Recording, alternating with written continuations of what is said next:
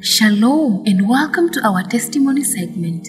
And today we ask ourselves, how faithful is our God amid the fast changing times and seasons?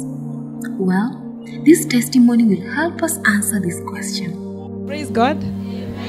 Um, let me tell you, there is God in this place. And Jesus is working. And is even working in your lives. So even when we when Pastor talks about Jesus and we sing about Jesus and you read about Jesus, just believe that he's the same Jesus that used to do miracles. Tasha received a word of knowledge from Pastor Sube Yuri during one of the Sunday services. God also led the servant of God to pray for her and her family. Father, in Jesus' name, as I raise this family to you, I raise Rhoda, the mother, to you. No weapon formed against her shall prosper. I declare and decree that good health is her portion. I disconnect her from altars fighting her life and destiny. I speak safety in the blood of Jesus Christ right now.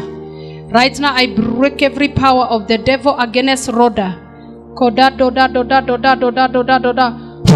I release freedom for Lord Rhoda now.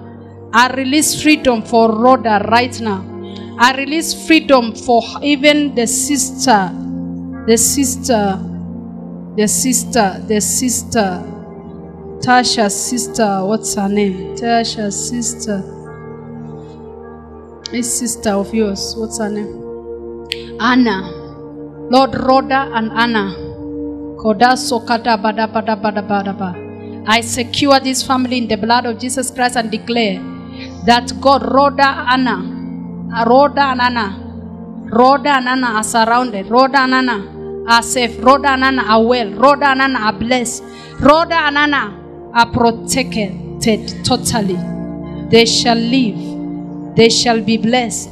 They shall live. I could tell the agency was on her sister, on my sister. And she started asking, What is the name of your sister? And now I had in my head, I was saying, I have like four. So I'll start with the names. And I know if it is not the name she wants, she'll tell you, No, no, no, that is not the one. So the, by God's grace, I just mentioned the sister that Pastor was looking for. And that was my sister Anna. Up to the time she was being prayed for, she had not spoken to any of her family members. But this word of knowledge prompted her to check on them after the service. So I called Anna and her phone was going through, but she was not picking. Then I called my brother in law. They told me, no, they didn't pick at first. I called my mom. So I asked, Have you seen Anna? And she said, Anna was supposed to go to church, but she hasn't gone to church. So that triggered something in me. But then I started feeling there is, I don't know how to call it, Pastor, but I started feeling uneasy. But I couldn't say it because I didn't want to make them panic. I kept calling Anna, messages, nothing. She was not even replying. So it got to around 10 and she was not picking her call. Then my brother-in-law was like, Anna said in the morning she was not feeling well. She woke up with a cold. Not a cold, but she had a blockage. Around 10:30, now my brother-in-law was like, let me drive to her place and see if she's okay. So I just said, just go and check on her. So but the caretaker was like, I've not seen Anna going out since morning. Alianika tu taweli yake hapa nje na hajatoka. So my brother-in-law got to the house, akapata tu dirisha ya kitchen imefunguliwa, the lights were on. But now she was trying, he was trying to call on Anna, Anna, and Anna was not responding. So he kept calling her almost like 30 minutes. Close to 30 minutes, they were just banging the door and calling her. Even the neighbor had to come out. And Anna, for some reason,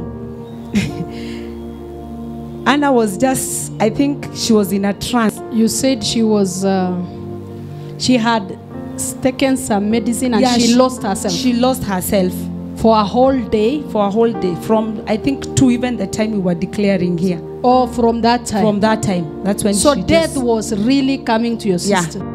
I think she knew that she was in a kind of a trance and where she was were graves, graves and water. Graves and water. Yeah, and then she's that's when now she was like it was like two voices that were competing. She Yeah. could hear my brother-in-law calling her, and there was another voice calling her to the To other the side other of side. grave. Yeah. So the moment the brother-in-law was calling her, it means it was the moment of her either to go to the death Exactly. And she was even closer to those graves. And that was around 10. Her sister was struggling between death and life, and she was already in the region of death. That's how people go.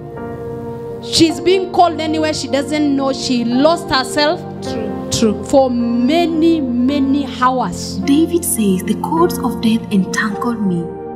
The anguish of the grave came upon me. I was overcome by trouble and sorrow. Then I called on the name of the Lord. Oh Lord, save me. The Lord is gracious and righteous. Our God is full of compassion. The Lord protects the simple hearted. When I was in great need, He saved me. So what happened? So that's when she woke. Now when she was being called, she just she just woke up, So and she was sweating. Sweating everywhere. Yeah, my brother-in-law was telling us like Anna was like it's some, like someone who had poured, Poured water on even her. on her bed. So it's Even like on she the was- bed? Yeah, it's because She was already- really struggling was for her struggling. life. Is she okay now? She's very okay. After sweating, yeah, the bed is she wet. was so confused actually because even when we were talking to her, she was just like, "What is happening?" She thought actually we were bringing. My brother-in-law was bringing bad news to her. Oh, she And was, confused. She was, so not herself. confused. Yeah, she was not herself. So she had to take time. So if you are wondering how faithful our God is, then you have the answer. He is faithful to deliver even from death.